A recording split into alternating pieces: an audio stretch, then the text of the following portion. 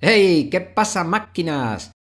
Bien, a estas alturas seguro que muchos de vosotros ya tenéis instalado el nuevo sistema operativo Catalina en vuestro Mac. Pero hay mucha gente que incluso se le ha actualizado solo desde Mojave directamente a Catalina. Bien, este sistema operativo tengo que deciros que no es compatible con aplicaciones de 32 bits. Entonces, ¿qué ocurre? Que todas las aplicaciones que teníamos en el Mac anteriormente, eh, que sean, por ejemplo, piratas o que eh, sean de 32 bits, como pasaba con uTorrent, Amule y todas estas eh, software para descarga, pues han dejado de funcionar. Bien, yo antes de que digáis nada y me pongáis verde en los comentarios, os diré que la solución que tengo yo es crear una llave USB que me he fabricado yo y esta es la solución que aporto yo hacia este problema.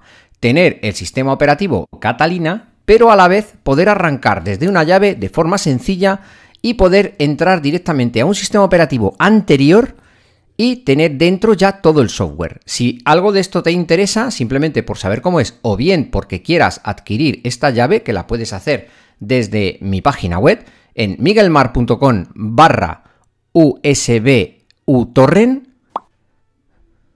desde esa dirección vas a poder ir allí y echar un vistazo a todo lo que te digo o sigue viendo este vídeo y verás qué interesante es este tipo de llave. Ya te digo que también puedes fabricarla tú, no hace falta que la adquieras, pero si no te quieres complicar ya sabes que me puedes pedir una copia a mí.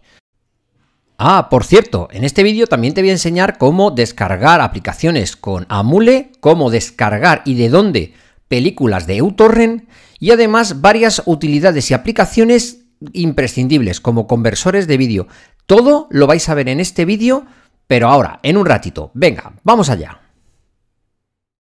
Como últimamente las cosas en YouTube están un poquito calentitas, no podemos verlo desde aquí, pero te dejo justo el enlace en pantalla. También puedes pinchar en la tarjeta aquí arriba y también en la descripción del vídeo tienes el enlace directo para ir a ver el vídeo.